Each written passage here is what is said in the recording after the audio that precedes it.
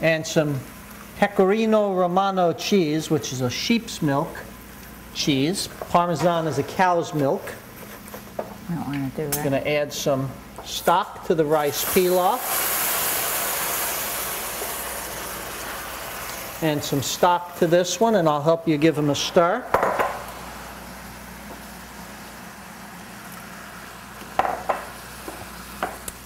And then we can put these both in the oven, or we can cook them right on the stove top. So I I'm going to just let them Oh, cook really? right on the stove top.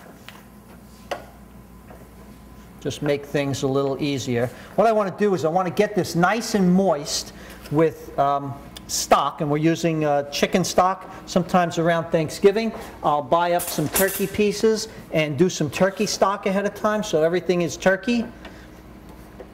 These dishes I like to make again after Thanksgiving because I always have a ton of turkey stock afterwards. 'cause After that uh, turkey comes out, we do nothing but uh, eat a small amount of it because there's so much other food that we make.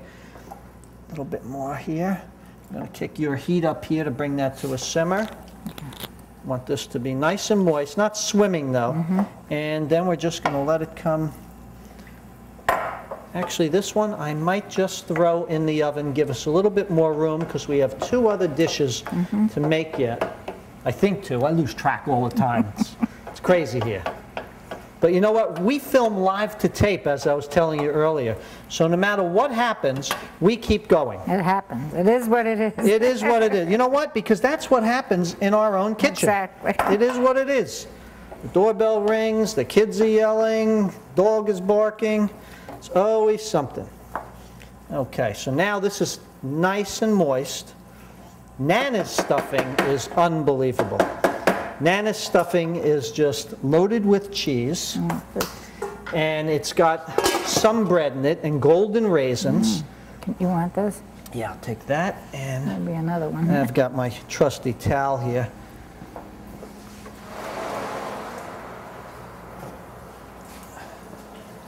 This right in.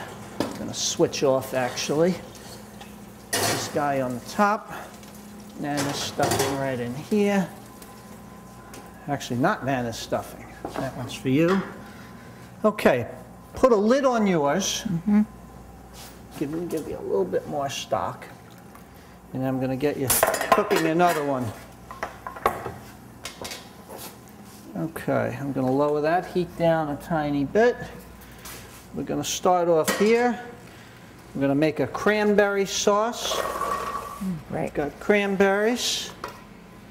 We've got some, can either use a dessert wine or a white Zinfandel. I'm gonna use a little bit of triple sec. That sounds good. I don't want to put too much in there, we don't want it to explode. And we're going to put some crystallized ginger. Mm. This one actually has some jalapeno pepper. Really? Yeah, Oh, wow. it's a little bit spicy, but you know what? You can control that as much or as little as you like. Crystallized ginger, always be careful cutting it because it is a little bit tough to get through. So you don't want to slip off and make this cranberry sauce redder than it should be. Definitely don't want to cut your fingers doing any of this, but this will all soften up and add just a wonderful, wonderful flavor. I think this might need a little lower temperature. Okay. Yeah, when we see those wisps of steam, that's what it's telling us. Perfect. Okay, now we've got our crystallized ginger. We are going to put the zest of an orange. Now, zest is just scrapings from the outside. Can be used in desserts and salads, all kinds of wonderful dishes. So we zest this orange, only a little bit of the outside. We just want to take the very outside, that's where all the natural essential oils reside, so that's where you're going to get flavor. If you go down too deep to where that white pith is, Gets bitter, right? gets bitter and really doesn't add anything to the dish at all. Okay, that's our zest. And then on top of everything else, we're going to mm. squeeze the juice of that orange in. Throw that away, rinse my hands, kick that heat up a little bit, and let that come to a simmer. Now, I'm going to put a rubber glove on because I'm going to work with a jalapeno pepper. Okay. And When you cut jalapeno peppers, or any kind of hot peppers, the oils that are inside just soak into your fingers. And forget about touching a sensitive area like your eyes or your lips or your ears. God forbid you, you don't do anything and don't wash your hands. Those oils soak in and your fingers will be on fire. Really? Oh, The only way to combat that is to soak them in milk. And we've had it happen here. A little bit of sugar in this. Now that's coming to a simmer. I'm going to cut our jalapeno. And I'm just going to take the bottom half of this. So I cut it and I'm breaking it off. You can see all the mm. seeds in there. We don't want the seeds. So I cut it here and just cut that seed pocket right out, scraping them. Always watch when you're cutting, scraping with hot peppers, they tend to spray a little bit. You wouldn't want to get that in your eyes. But now I have these two nice little pieces.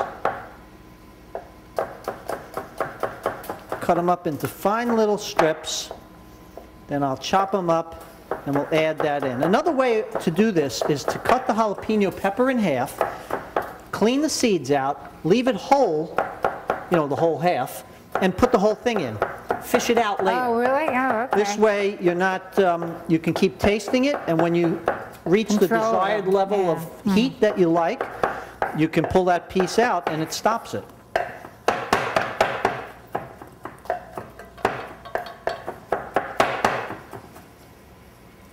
Okay, one more little chop here. And we are good. Okay, stir that in. Get rid of this garbage, and of course, get rid of this glove. Now I'm safe. I'm going to flip my board right over because I don't have time to clean it. And just let that one um, sit for a minute and see how it's going. Check our rice Oh, here. Oh, almost done. Yep, I'm going to put a tiny bit more stock in this. I'm actually going to add a pinch of water. And that's the beauty of this. We can keep checking it, and as it needs a little bit more hydration, if it looks like it's soaking up fast, Beautiful. different uh, types of rice will yield different um, requirements for how much liquid you need. Mix So go up. over those ingredients again. The mirepoix of the onion, the celery, the carrot. Right. Then we had our pistachios, we put our rice, we put our stock. Wonderful. Okay. Just let that boil away. And now we have one more that's really simple. This one I like because you really don't have to do much at all. Um, It involves an orange, which we're going to cut this orange up into some pieces. So this is a no-cook cranberry sauce recipe. All goes into the food processor. Right. I believe this is actually on the bag of cranberries Oh, really? uh, for certain brands. Our fresh cranberries and our sugar. But I am smelling something in that oven, so let me get over here and take a look. It might be time to check our stuffing and our little Cornish hen. Oh, we got a little bit of smoke going. I just want to take a look at this.